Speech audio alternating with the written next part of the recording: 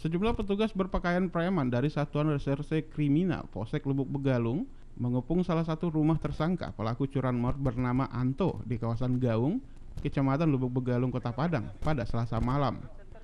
Tersangka tak dapat berkutik saat digerobak petugas di dalam rumahnya karena sedang tertidur. Tersangka pun langsung digelandang ke mobil untuk dilakukan pengembangan.